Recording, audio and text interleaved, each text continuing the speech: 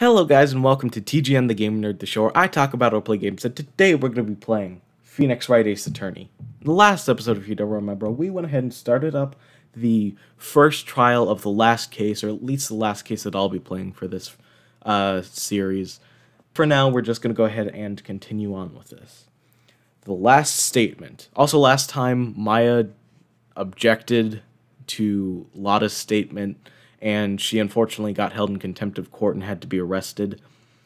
But with that, we were able to cross examine Lotta's new testimony, and that's what we're going to be doing today. So, the last statement.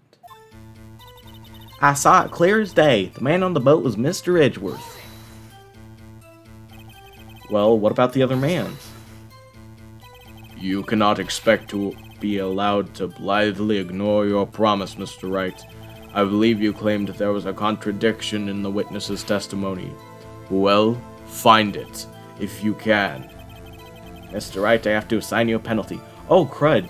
Uh, damn. That's it? Uh-oh. I don't know if I can find anything in that. What will Maya say? I saw it clear as day. The man on the boat was Mr. Edgeworth. So the contradiction here, and I'm shocked that we actually got a penalty for pressing something. Uh, Lake Photo. She says she saw it clear as day, but her professional camera couldn't even see who it was. Gotcha. Gotcha, Miss Hart. Finally. What? You got what? Look at this photograph. The photo I took? The very same. There's something I want you to see in this photo. It's quite clearly visible. The fog, Miss Hart. So? So? This picture was taken with a professional, high-quality film, correct? Yet even it could not capture the faces of the men on the boat. Yet you claim you saw Mr. Edgeworth. How? What? What? Mr. Wright has a point. That's why I told her not to say that in her testimony. Please. Yet now she has said it, Mr. Von Karma. How could you possibly see Mr. Edgeworth? Explain yourself. Miss Hart. What? Could you see the defendant that night? Of course. I said I could and I meant I could. Then please testify about your about the circumstances of your sighting. I did it. I finally found a hole in Von Karma's carefully vague testimony. On to the next testimony. Also, uh, I feel like I'm doing the judge's voice a bit too higher to compensate, or a bit higher in pitch to compensate for Von, Cor- Von Karma's incredibly deep voice. How Edgeworth was seen. You're right, it was a cold night and the fog was thick as grits. So once I finished setting up my camera, I got back in the car. Still, I brought my binoculars with me. When I heard that noise out on the lake, I looked with my binoculars. See? No problem.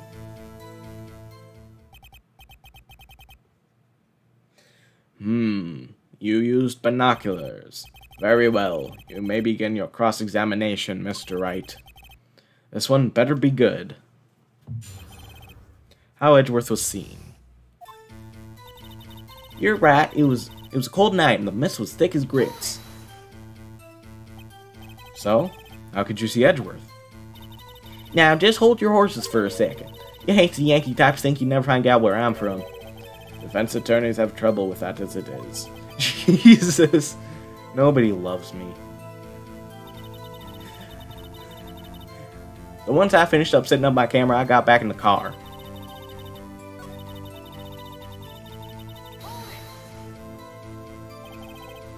Your camera? Yeah, it's got an automatic. The issue we are concerned with here is Miss Hart seeing Mr. Edgeworth. The camera has nothing to do with this at all. Objection sustained. Uh, he's not letting her answer any of my questions. Still, I brought my binoculars with me. Binoculars? Yeah, binoculars. Yesterday you mentioned that you were out looking for shooting stars, correct? Well, yeah. Wouldn't you need a telescope, not binoculars for that? I've got doubts about your camera, too. Was that really to take pictures of meteor showers? The camera is irrelevant to this case. You can't say that for certain. Hmm, Mr. Wright, is the camera really relevant to this case? If you believe it is, you may continue with this line of questioning. But know this, if you find nothing with this, there will be consequences. Well, Mr. Wright, do you wish to press further about the camera? This is make it or break it time. The camera is of utmost importance, Your Honor. It is perhaps the key to this entire case. Therefore, I will continue my line of questioning. Wow, maybe I went a little overboard there.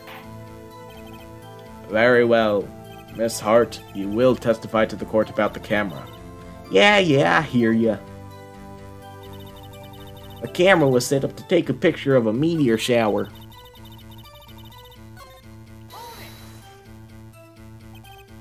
Miss Hart, what made you choose that lake to photograph meteors? You know the fog gets thick on that lake. It's not very suited to stargazing. Yeah, well, you see, I... I guess I wasn't thinking too straight. Har. Mr. Wright, I will not have you badgering my witness because of her challenged intellect. Now, wait a minute. Continue with your testimony. You were saying how it was you that, that how it was that you saw Edgeworth. Eh, no unnecessary comments, please. When I heard that noise out on the lake, I looked with my binoculars. There was a heavy fog, how would binoculars change that at all? What do you mean? Even binoculars can't see through fog. But you say you clearly saw him? Er, I did, yeah. Enough. There is no room for doubt in her testimony. Hmm, you sounded pretty doubtful to me. But I have to find a clear contradiction first. I don't care how many von Karmic objections I get. I'm going to find a hole in this testimony if it's the last thing I do. You're right, it was a cold night and the mist was thick as grits. Okay, so the contradiction here is... Well, the contradiction here is... Camera set up to take pictures of a meteor shower. However, if you'll remember, it's set to automatically take a picture when a loud noise is detected, and it faces the lake. Both of those things contradict that because if it's set up to take pictures when loud noises are heard, like shooting stars and meteor showers don't make loud popping noises. And why would you face the lake instead of facing the sky, where the meteors are? You were photographing shooting stars? That's a lie. Says who? I saw the camera you set up yesterday. It was pointed directly at the lake. You have, you have to point a camera upwards to take photos of the stars, Miss Hart. Oof. Mr. Wright, what are you driving at? The witness was not at the lake to photograph shooting stars, Your Honor. Well, then what exactly was she photographing?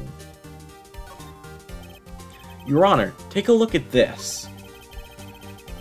What was Miss Hart trying to photograph at the lake? Miss Hart, this is what you were trying to photograph. What's this? A newspaper article? Gourdy. Ah, the sighting at Gourd Lake. Well, Miss Hart? Uh, I never heard of no lake monster. You got proof or something? Let's see you prove I was down at the lake trying to photograph this Gourdy. I have it. Proof. Hmm, intriguing. Very well, let's see it. And no joking around this time, please. Here is proof that the witness was trying to photograph Gourdy, the lake monster. The proof, Miss Hart, is your own camera. Your camera was set to take photos in response to, loud, to loud noises, correct? Thus the photograph here taken when a gun fired on that lake. And here, this article about Gourdy. According to this article, Gourdy made a loud noise when it emerged. Well, you were trying to photograph Gourdy, weren't you? That's why you had set your camera to respond to loud noises. Order, order. I see. I too thought it was a little strange. Yeah, sure. Well, Miss Hart?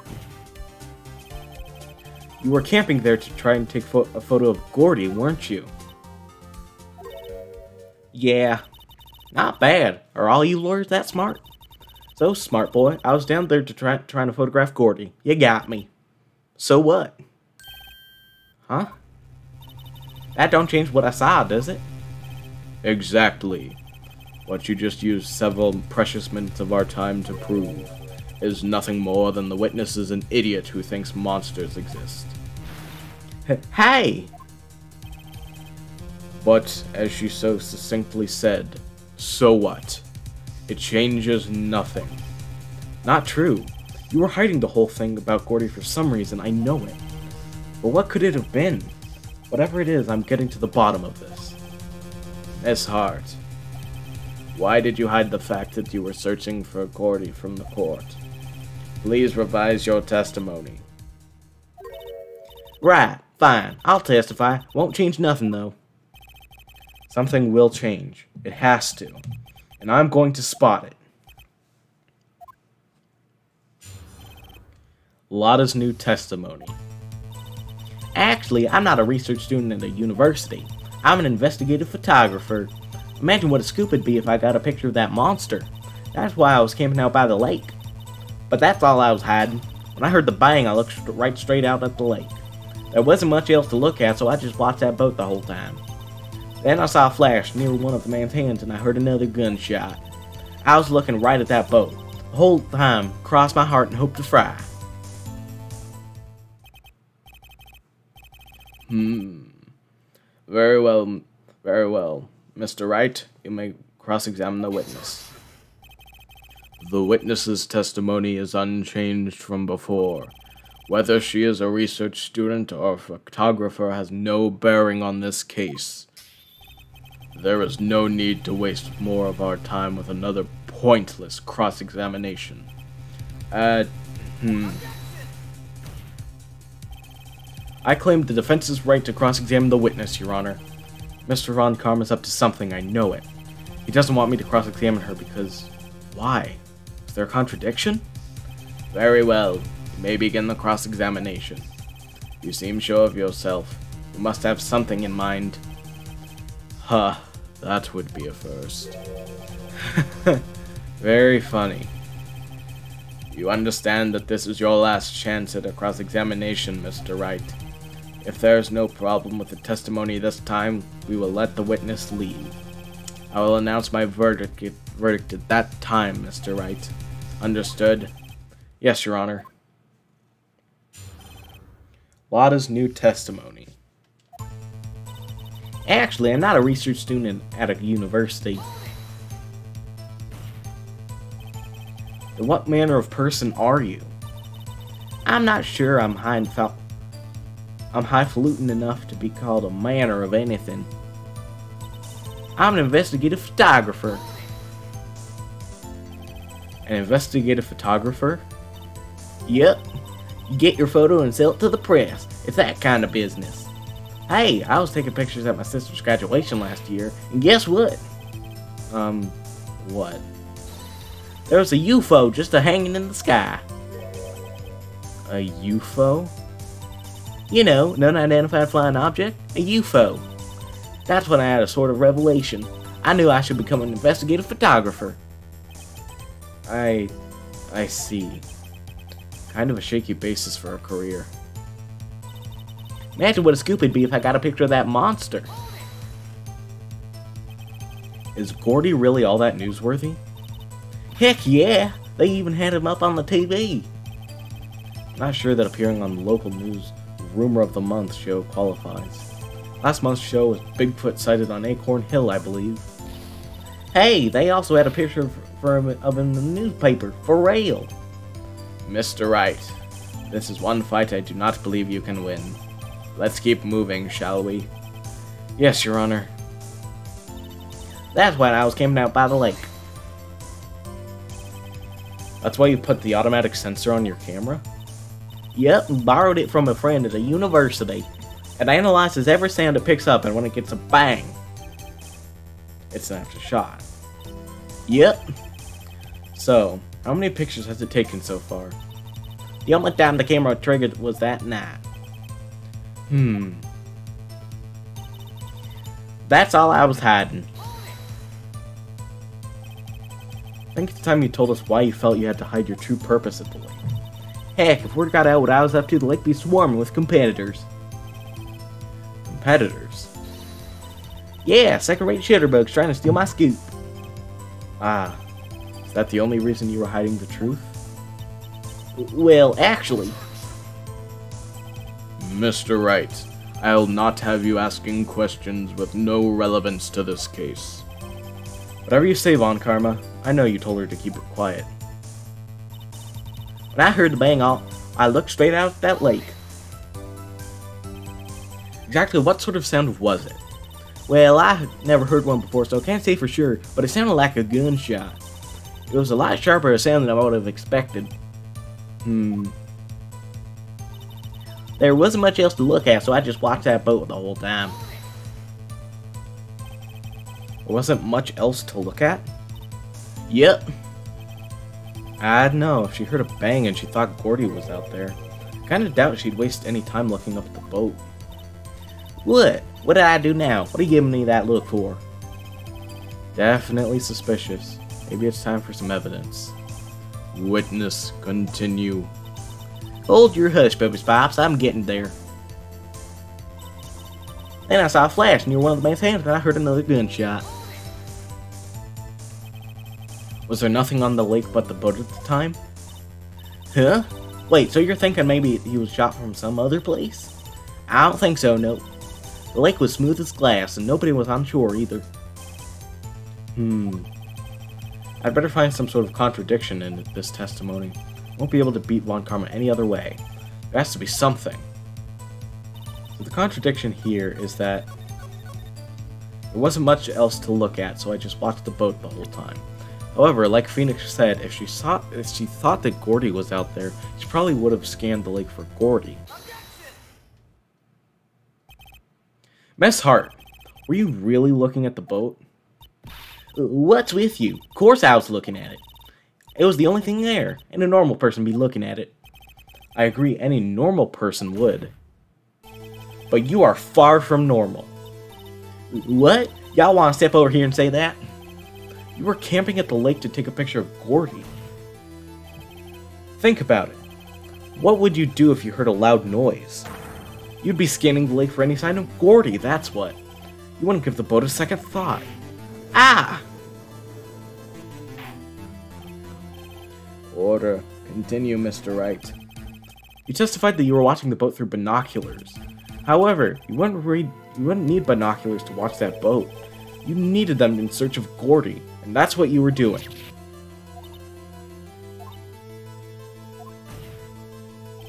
Well? Hmm. Well, now that y'all mention it, I did sort of take my binoculars and kind of scan the lake a bit. I mean, Gourdy might be out there and all. Miss Hart, are you saying that you were not watching the boat then? Sorry, y'all. I wasn't fibbing, really. I was just, I thought, you know, I could be witness to a murder and all. I kind of got excited. I was sure I was watching that boat. Till now. This, this is totally uncalled for. But hey, you got the photograph. You got proof. Hmm. Still, we can't see who is shooting who in this. Right, right. That's why I took this photo and... Witness, that's enough. You've had a long day. Shut your pie hole. Shut my what? What was she going to say? You took the photo and... What? Wait a second. She even had photograph a photograph to prove it. We can't really tell from the photo who's shooting who. That's why she said she's going to enlarge the photo. She said it'll drop the quality of my, but it'll let us see who's who. You enlarged that photo. Why won't Von Karma let her show it? I've got a hunch. I bet that enlarged photo shows something bad for Von Karma. This is my chance. If I'm wrong, though, it'll mean prison for Edgeworth. Or worse. Whatever should I do? Miss Hart, look at this photograph. You enlarged this photograph, did you not? Yeah, I did. Why has that enlargement not been presented to the court? Because it does not exist. What are y'all talking about? You were the one who told me not to show it to the court in the first place. You old fool.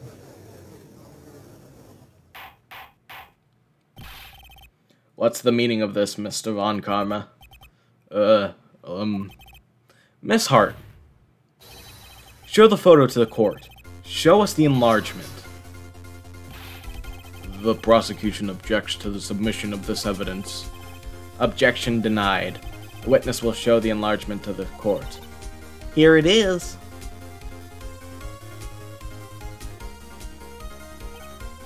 Hmm, we still cannot see who is firing in this. It could be the defendant, or maybe it's not. Regardless, I'll accept this as evidence.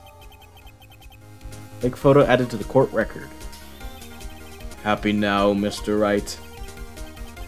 Hmm, there has to be something. You asked for an enlargement, you got the enlargement. And little good it has done any of us. That's why I requested she not show it. Hmm, I suppose this means the cross-examination is over, obviously. Then I would like to close the cross-examination of Miss Lotta Hart. And none too soon. That was a flagrant waste of my time. Mr. Von Karma, do you, have, do you have anything to add? I stated everything I needed to when this trial began. Decisive evidence, a decisive witness. What else could possibly be required? Nothing, of course. And I believe it is time for me to declare my verdict. Wait, it's not supposed to go like this. There has to be a clue in this photo. Somewhere. This is bad. Real bad. What should I do?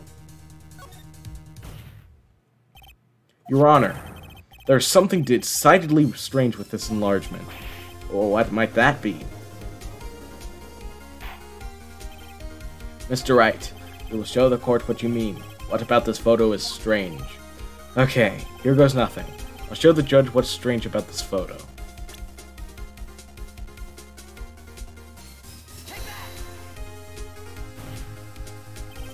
Here, Your Honor.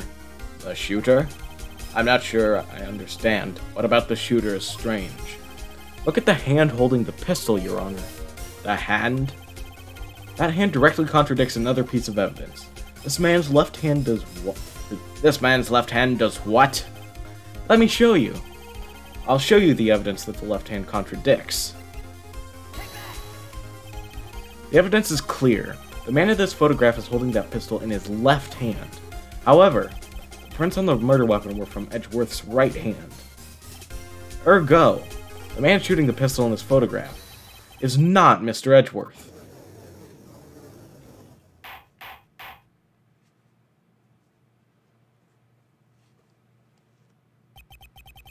Now that everyone in the courtroom has quieted down, I would like to reconvene this court of law.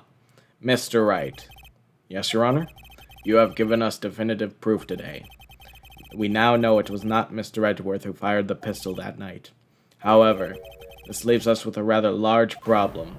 If Mr. Edgeworth didn't do it, then who shot our victim? Precisely. As we have seen, there were no other people on the lake that night. Who but the defendant could have shot the victim?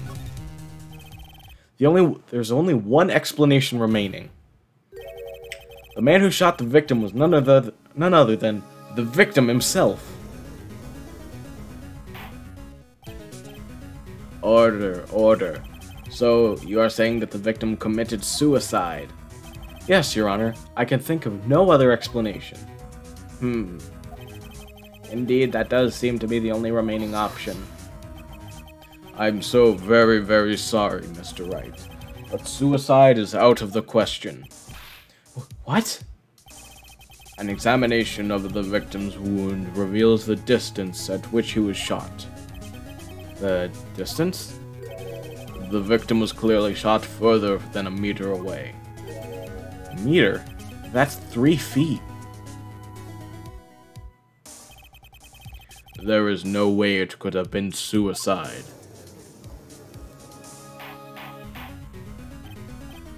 Order, order. Mr. Von Karma, are you sure of the accuracy of your data? Of course. I had already considered the possibility of suicide, you see. Autopsy report updated in the court record. Hmm, I see. Very well, allow me to state my opinion. Considering the situation, the shooter had to be the defendant, Mr. Edgeworth. However, the prints on the gun revealed that the shooter was not Mr. Edgeworth. This is a conundrum. Therefore, I would like to suspend proceedings for the trial for today. The court orders the defense and the prosecution to further investigate this matter. Understood? Yes, Your Honor. That is all. The court is adjourned.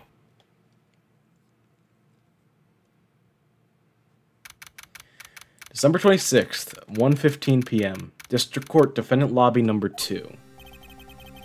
Whew, that was a close one. Hey, don't you have anything to say? No, I've yet to be declared innocent, right? Well, yeah, but what happened out there on that lake anyway? If he didn't commit suicide, then who? The shooter was about a meter away, too. What? Don't give me that look. I did not kill him. I was just kidding him around. Look, I'm going to go check on Maya. Oh, right. What? Tell her something for me. What? Tell... Tell her to watch what she says in court. That's all. Yeah, I'm sure she'll be happy to hear you say that, Edgeworth. Jerk. I requisitioned a transcript of Lotta's entire testimony. I thought it might give me some ammunition for the trial tomorrow. Of course, she didn't see the shooter, so the only part of her testimony that stood was the bang she heard.